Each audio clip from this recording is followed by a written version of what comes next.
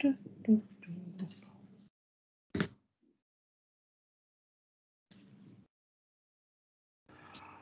Well, good morning, everybody, and I hope you're uh, all keeping well. Um, this is my. Uh, uh let's wait for somebody to finish unwrapping their suite.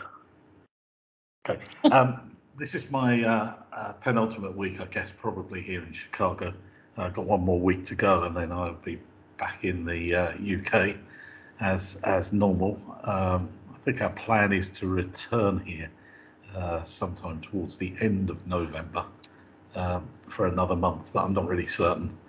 I'll just take my, my orders from my wife and, and do whatever she tells me to do, as a good husband should. Isn't that right, Nick? Um, yeah. right, okay. So, message Deb and ask her. Uh, right, okay. So I think uh, with me today I've got Gareth. Hi, Gareth. Hello. And I have Liz. Hi, Liz. Hi. Uh, is Naomi, are you on? Yep, I'm here. Hi, Naomi. And uh, I think uh, uh, Laura is is bogged down in converting from uh, her, her current system to a new system. Uh, every time I speak to her, she appears to be crying. Um, so I don't think I don't think she'll be on today. Um, uh, they'll have sent her the, the, telephone number for the Samaritans, uh, just to stop her from ringing me. Um, and uh, I know that's cruel. Um, and um, yeah, uh, Kevin's not with us either. He's he's involved in in something or other. I, I, don't really know. It probably involves watching animals or herding people. I'm not really certain. Right. Okay. So, um, so uh, yeah. So let's let's uh, let's crack on. Um, actually, we wanted to do. We want to have a go at doing a poll this week, just to see whether we can do polls. Uh, and for anybody new, by the way, just raise your hand and I'll open the lines, or Nick will open the lines to uh, to invite you invite you in to make your comments or you can type them into the message box as as normal. Um, we wanted to just start with asking about conference because conference is on in two three weeks time. Is that correct nick? Conference i believe is next week is it next week oh yes it is next week isn't it find um, out I, I, I, time time time is a mystery to me now. I've completely lost track of who I am, where I am, who I am, what time it is, what time it is somewhere else. It's it's just complete mystery. Yes. So next week, Nick, we we we're having a stand. Uh, no, I'm not going to be there because I'm here. You're you're going to be on the stand. Who else is going to be on the stand? Well, I'll be on the stand with a, a, a new face in in Bessie Chidembo will be joining us, and we have Sue popping the first day. People might know Sue from Cheshire West and Chester, and we have uh, Peter coming on Thursday. Uh, people might know from uh, from Policy in Practice. So yeah, it should be a good couple of days. Obviously, everyone come over. There's competitions galore. Um, so come and come and take part, please. Be good to see everyone physically. And, and what's what's our main prize at the conference this year? Depends what you're into. I mean, we've got we've got software to give away this time, haven't we? Uh, and if people are after a birthday present for the partner, child, um, whatever you're into, we, we might be chucking a PlayStation 5 somewhere as well if people want to win that. wow. So, so, so we could tell. Might be well. We could, we could tell that the uh, that the, the software worth many thousands of pounds is not as interesting as the PlayStation 5. yeah, it is an either or. PlayStation wins. uh, they can enter both competitions, though, can't they? They can. Yeah, yeah, they can. They can have a go.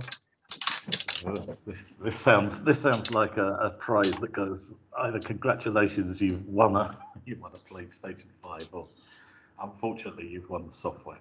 Uh, right. Okay. So. What I will say to the to the older generation, part of the prize draw is a Willy Wonka style chocolate bar. So you may well find, and I actually watched with my six year old Saturday morning at 6:30 a.m. Charlie and the Chocolate Factory for, for some random reason. He'd watched it the day before. So uh, yeah, we are giving away chocolate with a with a golden wrapper in it. So excitement there. Yeah, it will be, be all Can't about. wait. Okay, I'm going to try and launch the poll. We want to know how many of you are going to the conference this year and which way are you, you going ahead. So I'm going to try this poll, see whether this works. Uh, Is, is that live now? Can people see it? No, I can't. Yes, it's popped up on my screen in the middle Yeah. of Forms poll. MS Forms poll with three options. Are you going to conference this year? Yes, I'm going to Telford. Yes, I'm doing the virtual thing. Or no. I think people press it, didn't they, Malcolm? They do, yes, they, they tick whichever one they want. And Nikki's just suggested that uh, uh, it depends depends whether she can get any petrol or not. Gareth, are you are you going to the IRRV poll uh, conference no, this year? I shall be in Italy, I hope. And Easy. vanishing off next Sunday. Now that must have been a tough choice, Italy or Telford. Yeah, well, Telford's an easy drive. are you driving to Italy? Yes, yes, yeah, yes, we are. I, I should even be able to st- still dial in as, as I go along to you as well. So, uh, Excellent. Uh, will you be doing it in Italian? Uh, well, no. um, probably not. You'd give me enough trouble to try and do it in Welsh. So, my Italian is much worse than my Welsh. Uh, right, okay, so I can see that 33% of the people who are on this call are going to go to conference. Hopefully, all going to come and visit us on our stand.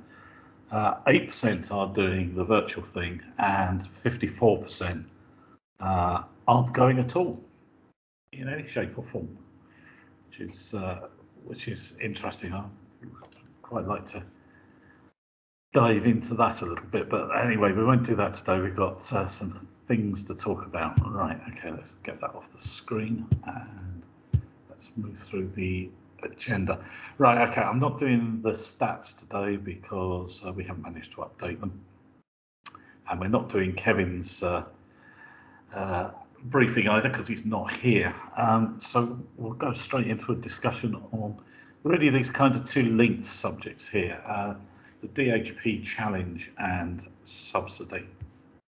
So, um, on the DHP challenge, my question is, is how are you going to, or how are you planning to manage your DHP, DHP spend under the new regime? And what does this say for the future of DHPs? Does this signal a move to take DHPs from LAs and centralise it? or redirecting it to regional government. I guess Naomi is you're the only local authority person on the panel today. Uh, what's what's what's your view? Um, I don't think DWP can give DHPs to anybody else. Um, it's a bit of a poison chalice. I don't think anyone's going to be rushing forward and saying, "Give it to me, give it to me." um, by and large, local authorities have done pretty well, um, bearing in mind that DHPs are the band aid for every welfare reform going. Um, so I think we're stuck with it, but I think we're also therefore stuck with um, challenges on how we spend what we don't know we're going to get until about half an hour before the start of the financial year. Um, we have always spent our DHP. We've had um, some homelessness prevention money previously, and it's about to run out. so we're having to put a bid in uh, for some cash to tide us over. Um, because we we actually feel it's a worthwhile thing to do. It really does support people, and it runs along very nicely with our um, other welfare support that we do. But it's not easy. And, and the new funding arrangements, where you've got to spend a certain amount by by the half year point, does that is that likely to give you a challenge or not? No, as I said, we, we always spend more than our um, government contribution. And so this year, out of the 40 million top up, we got £11,000 more than I extrapolated from our first funding, if that makes sense. Mhm. Can I ask who actually are these people that only spend less than 60% of the DHP funding at this kind of crisis time? Uh, Wales. So Um, that- I, I have I haven't looked the figures up. So Um, yeah, I mean, Wales normally, the Welsh authorities normally take, I mean, it's not, I mean, obviously there's quite a few Welsh authorities, but I mean, normally when you look at the figures, uh, quite a number of them uh, get criticised. I mean, um, I, I can't remember who it is now, but there's, there's one of the charities, almost as soon as the figures are, are published, uh, immediately starts to name and shame the Welsh authorities uh, who have underspent. But actually, when when I've spoken to those Welsh authorities, it's it's not been for the want of trying.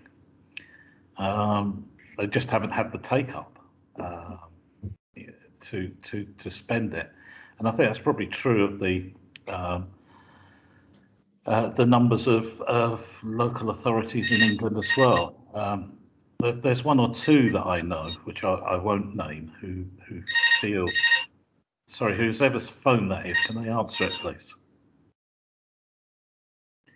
Um, yeah, there's one or two English authorities who who clearly think that their the job that they have with DHPs is not to spend them, but um, but most local authorities, I think, try to spend. Be interested to hear from the audience. Uh, you know, are, are you struggling to to spend it, or are you are you not struggling to spend it? We've got, we've got a couple of hands up, Malcolm. Lynn, Yeah, please. a few moments ago, and then we've got Helen to follow. Okay, let's let's speak to Lynn and then follow with Helen. Oh, hi. Um, I totally agree with Naomi that it belongs where it is. Um, from my experience, we also used to spend all of our government contribution and then we had a top up from uh, our own um, purse. But um, one of the things I had heard is that there may be plans afoot to move it into universal credit because obviously the majority of housing costs are paid in universal credit now um, for working age certainly but um, that's just something I'd heard on the grapevine um, I just wondered if anybody else had heard anything along those lines Uh, I I thought actually um, there was a now a, a, a fund for for job centres um, that was available to them, but I don't don't know very much about it. Uh, I can't see that, that it would fit in because most of the DHPs is spent because people have had their HB or the or their UC housing costs sort of cut. So you can't really see how you could work that one through.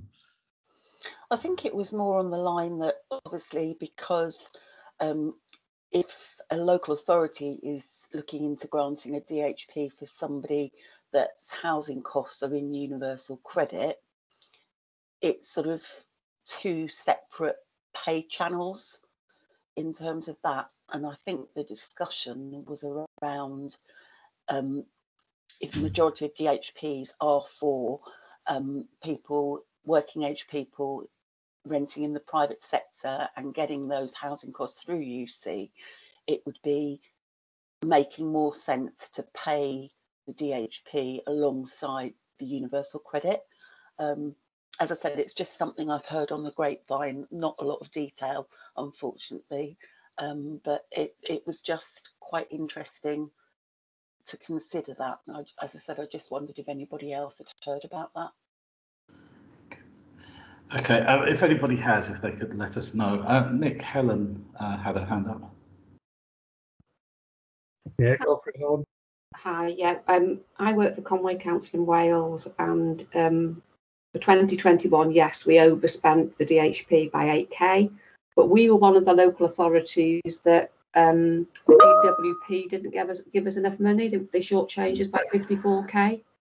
Um, I did try and get the 8k back off them, but failed, um, which you'd expect really.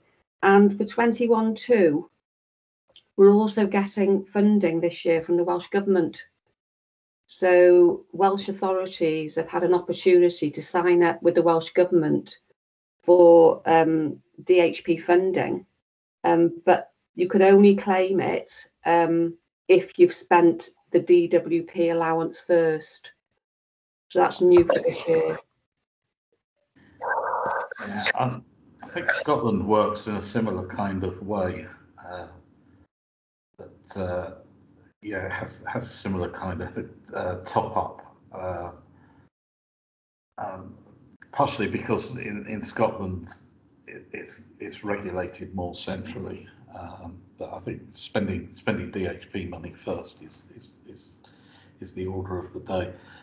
Helen, I mean, this do, do you find it difficult to get people to take up? I mean, I have heard a number of Welsh authorities say, you know, no matter what they do, um, they have found it difficult to get people to to take up DHPs.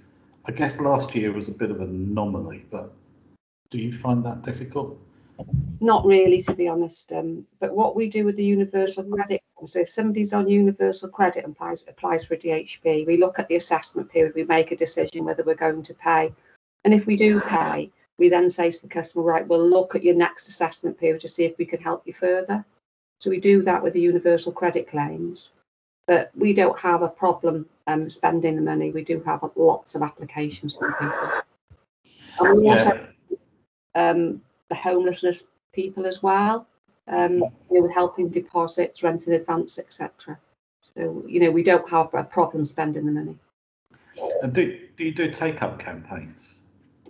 No, no. We got it on the website, but we don't we don't actually do take up campaigns. No. Yeah, I think take up campaigns are a thing of the past now. maybe a thing of the future true. as well. Go, go. That's not true.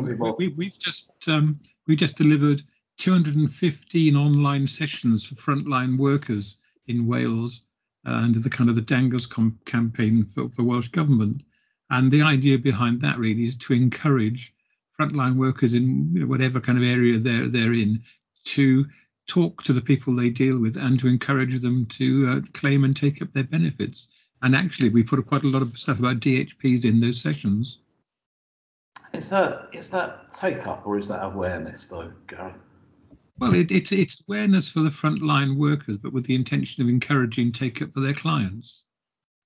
Yeah, I, I, I mean, I, I take I take that point. I guess probably what I was thinking is is in in the in the olden days, local authorities actually ran campaigns, you know, over local radio and in newspapers in the days when we used to have newspapers and things like that. Um, that that was the thing I was thinking is perhaps more. I think I spent I spent many hours when I was working in a CAB pushing postcards through letterboxes yeah, in council estates in Cardiff, encouraging people to uh, to claim their benefits. The problem with take-up campaigns now, though, is you don't have an easy route to the people that need it. Um, it's, for example, things like pension credit uh, and council tax reduction for for um, pensioners, where the real poverty is kind of uh, hidden in you know behind the hedges in the suburbs. You, you can't get it. a lot of mm. people uh, very easily because they're not big social media users. Uh, and, and, and they're not clustered together in ways that make physical take-up campaigns work. Yeah. Uh, yes, I, I, mean, again, you're absolutely right on that. I think pen, pensioners are still a low take up, surprisingly, it, despite the fact that you know a lot of pensioners of, of our age is are, are media savvy, aren't we? Certainly IT savvy, you know, users of, of social media. But it's still still going to take a while for that to filter through, I would think. I think it's also the more prosperous pensioners who are more likely to be social media users. Yeah, yeah, that's that again. That's that that's true enough. Uh, just just just out of interest, Liz. Um, I mean, you, you've you've done a number of of these take up. You and I have done a number of take up campaigns in the past, but uh, DHP spend when you've been responsible for it. Have you disappeared, Liz, or you, you muted? sorry, I'm unmuted now. Okay. I think the way forward is exactly as Gareth has described, actually. I think the days of putting things through doors and getting to the right people um, are probably over. It was never, I mean, to be honest, it was never particularly effective in the first place. Um, and I think the approach through partnership working is probably more successful and is certainly the way forward. Now, um, making sure that people are aware about DHP. By that I mean, you know, um, complementary services are aware of DHP. Um, on the other point, I mean, I I think it'd be quite difficult to see how DWP would even want to subsume it into universal credit. I mean, they're not that keen on making on making discretionary decisions anyway. Um, I just So- don't think that will happen. I'm interested about your point though about to regional government. By regional government, you mean regional government that's likely to be set up, such as uh, Greater Manchester and Greater London and places of that. Yes, uh, yes, yeah, yeah, absolutely. Um, because they they kind of look to the the the national governments and see Yeah, it'd be, see- interest, mm, be interesting to know from a from the point of view of of our customers who trusts people. What is the most trusted way of making these decisions? Do people actually see that DHP, which is after all quite a personal decision in many ways? I mean, a lot of the information that you ask for is quite personal to that person. Who do they trust to actually make these decisions? Big government, regional government, or local government? I don't know, Naomi, do you have a view?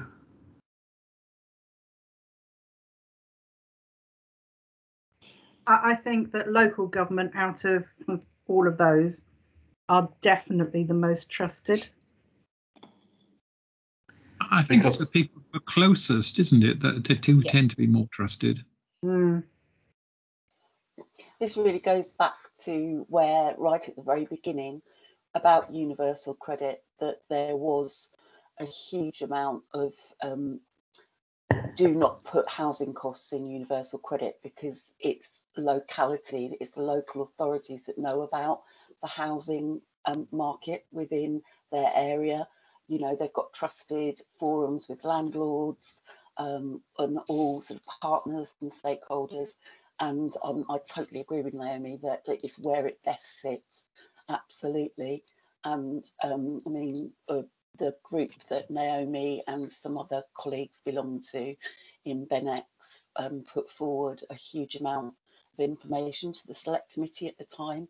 And um, the general consensus across many, many local authorities was keep housing costs out, but of course they haven't. And I think that's caused huge problems.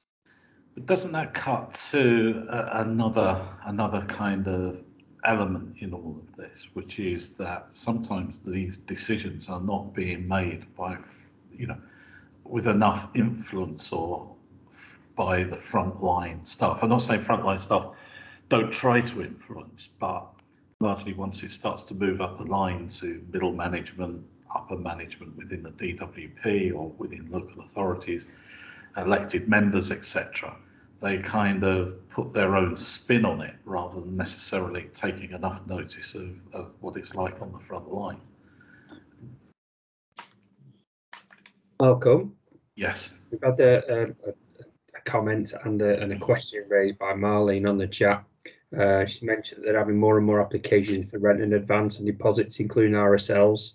Uh, and she asked how other LAs on the call approach deposits and RAA for HA properties. Do they pay them routinely? Uh, Na- Naomi, do you want to kick that off? Uh, absolutely do not pay them routinely. Absolutely not. Um, we will work with the housing provider and the tenant to try and get sort of like a happy medium. Um, but there is no way that our DHP budget will will run to to that. What we're trying to do is to, you know, keep people in sustainable accommodation as well, where they are currently. Um, and just to hand out money to registered providers for rent in advance or deposits is not going to help that situation at all. Yeah, I mean, I, I, I tend to agree. I mean, Liz, when, when you were responsible for this, is this something you would have done? What rent in advance and deposit? Not Yeah. routinely.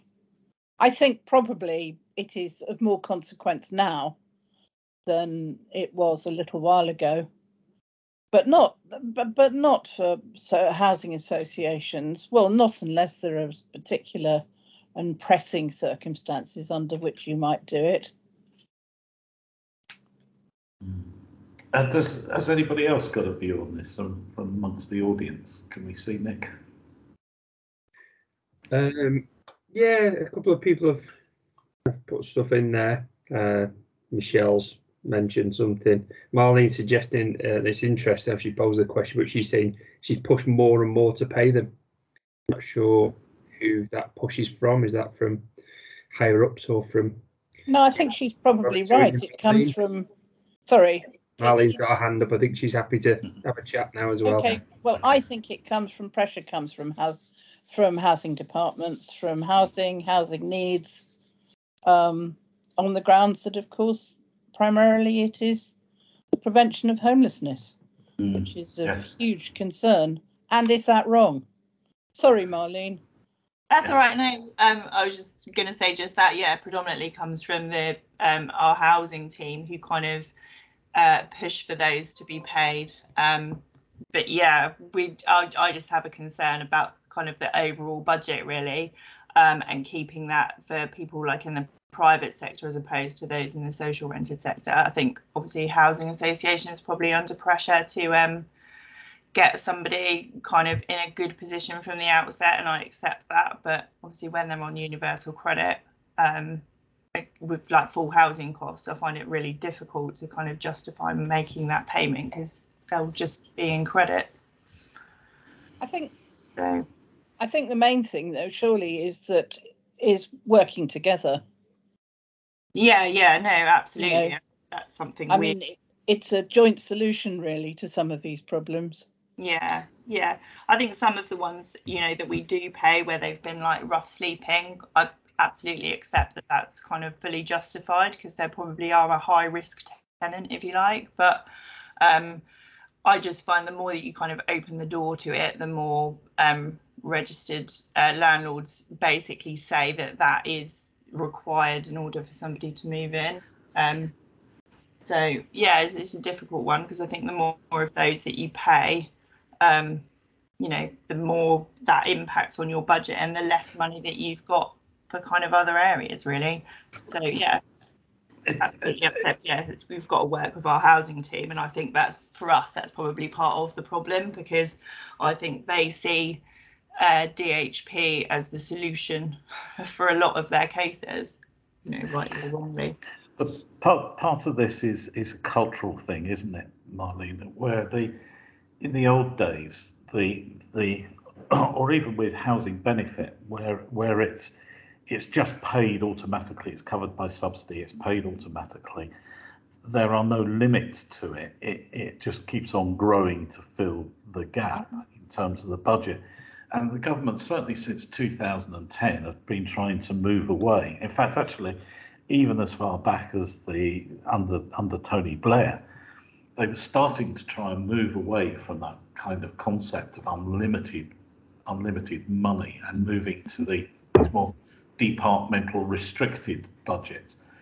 And that's difficult to convey that to to to the housing department who are much more used to saying, you know, housing benefit just being there and not seeming to grasp that you've only got a small pot in which to, to make these payments. Yeah, absolutely. I think you know, I think when DHP first came out, it was kind of predominantly for shortfalls. I think certainly for us, rent in advance and deposit has shifted very much to be like the biggest lump of expenditure. And yeah, the new kind of the new one of those is you know, RSLs pushing for rent in advance to be paid um, and deposits. Malcolm. Yes. Do anybody else have kind of deposit schemes within their housing team? Because that's something we're kind of exploring. They've our housing department have got a very restricted deposit scheme, um, and that doesn't include social sector. So has anybody else got any kind of good schemes that their housing teams operate in terms of deposits? Yeah, We let's, are let's getting, put we are getting some good chatter in the in this in the meeting chat, Malcolm, from people. So I'm guessing people might respond to that, Marlene. Uh, just to cover a few, Malcolm, we've got uh, people suggesting they do get a lot of deposits, but they do look at them individually. Um, someone saying we pay some, not many. They don't cover RIA with DHP. Uh, someone else is saying they're referring back to housing options team. We normally get the RIA, RIA waived.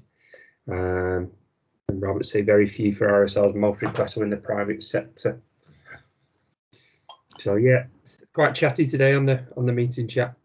Okay, good, good. And I guess, I guess probably uh, uh, there, there, there's been a bit of a swing, hasn't there? When the sort of, let's call them the new DHPs or the increased budget DHPs were largely set up to deal with some of those welfare reforms, particularly bedroom tax. And that's kind of swung away from that now. Am I right in thinking that, Naomi? Um, we we do have some of the sort of more traditional ones, but what we're trying to do is to um, do sort of carrots and sticks, so that we will pay a DHP if um, there's work with the applicant and the landlord to try and improve circumstances going forward. We have something called an HB plus, where we're moving um, single men who've recently just sort of come off the streets and paying the top up from the LHA. Um, and that's been really successful because the people signing up for it have quite quickly gone and found jobs and they're actually coming off benefit. Um, so we're really trying to use it not just as a pay it out every week, but as an investment so that we pay it for, say, three, six months with the hope and expectation that at the end of that six months, it's not going to be needed at all. And I presume that the business case for something like that is is to play it up against the costs of if you didn't do that kind of thing. If they stayed in a, um, particularly a council hostel, cost the authority a shed load. Mhm. Right. Okay. Uh, Nick, anything more from the uh, from the message boards there? Uh, nothing specific. Lynn's, Lynn's mentioned that from experience, most successful DHPs were private tenants with LH, LHA shortfalls and welfare reform impacts like bedroom tax. But yeah, we've we've we've stopped now. Okay. Uh, Gareth, I mean, you've been listening to this from your from the outside, listening in. What what springs to mind for you from this conversation? difficult to say actually malcolm i mean from, from our perspective the, the dhps uh, are there as a really valuable contribution to the fact that increasingly and i really mean increasingly numbers of people because of things like the two child limit the overall benefits cap um, the uh, really unmarket related lha figures and so on and of course the bedroom tax don't get enough money in their you know, universal credit or, or, legacy benefits to meet the rental needs. I mean, it's, it's pretty much impossible if you were a, a three child family anywhere in Wales, um, paying a social rent not to be capped. So, so the, mm-hmm. the DHPs are, are there as a kind of, thank God, um, you know, there's a chance of getting people enough money to actually meet their rental needs, even though the reason that the DHPs are there is just to partially compensate for or other cuts. But in terms of the way in which they're administered, I, I think there are two areas, aren't there? Really, one is the like the longer term need for, for, for something like a DHP to meet the ongoing shortfall that people have got in their income, um, and the other is those effectively one-off payments, the things like deposits, um, that, that really are a different kind of issue, and, and maybe the DHPs uh, ought not to be a single pot meeting or trying to meet two needs. Yeah, and I, I, it just strikes me as well is that you know there's probably a big argument for for increasing the payments at source, you know, at, at universal credit or whatever. Once you add the administrative cost of administering the DHP on top of everything else, it's it, it is an argument to to sort of analyze the success of the DHP and actually maybe just you know cost it into the to the original benefit. I also wonder, you know, are we expecting to see requests for DHP rise once the twenty pound is cut on the universal credit? Absolutely, jumping in both feet first. Yeah, um, that's one of the rationales that we're putting forward for wanting some bid money. Mm. Um, because when we do DHP calcs at the moment, you know, you take the whole household income, you take the whole household expenditure, and you know, from next month there's going to be an additional deficit of 20 quid. Yeah, and that that's bound to drive right right across the board. Uh, Marlene, I'm kind of interested. Are you are you girding your loins for uh, for the twenty pounds? Uh, yeah, yeah, that's one thing that we're considering. Well, you know, looking at in terms of reviewing customers that are already getting DHPs that are kind of getting those long-term ones, or you know, ones where there's a shortfall as opposed to like the one-offs. And and I'm just curious from from everybody. Do you get much challenges from from DHPs when you don't award either the the amount people require or, or need? Only from my housing team. well, that that speaks speaks volumes. Is that the same for you, Naomi? Sorry, um, can you repeat that last bit? Uh, Yeah, are you getting many challenges from uh, from the you know when you don't award um, either don't award or don't award as much as people feel they need? Um, no, actually. Um, you know, we, we have a sort of internal review process that I'm part of, um, but I haven't been bothered by any recently, so that's okay. That's good. That certainly is good news. Uh, right, okay, I make it uh, twelve thirty-eight at the moment, um, so maybe we won't go on to the question of subsidy, as that's probably run run for a while, and we'll we'll do that one next week if that's okay with everybody. Is that all okay with you? Yep. Yeah, that's good. Okay, in which case I think probably this is a good point to to to, to wrap up. Um, are there any other comments or anything else anybody wants to to add in the audience before we we close down? Just quickly, I would like to add the fact that I think there are real challenges for local authorities' decision making on DHPs coming up. Yeah, I, I Some I really do hard well. choices. Um, you know, people have spoken about um, uh, Naomi, I think, principally about you know making conditions and trying to get people away from DHPs. Um, but I think the problem is that next year or after, you're going to have to consider whether it's worth paying a DHP at all. Because somebody will never be able to afford that rent unless they get a DHP. So, how can you sustain that? All sorts of unpleasant decision making to be made, I think, in the perfect storm that is coming our way. Yeah, I, I agree. Um, you are setting yourself up um, Yeah. by starting off with the DHP that is not going to achieve anything in the long run. If you Mhm. think that somebody is on the cusp of returning to work and additional support with a work coach would help, Exactly. that's great. Um, but if not, or if they've got spare room subsidy issues and they're a, a household that could take in a lodger, work with them. But again, you know, if that's not sustainable, you cannot keep paying that money out.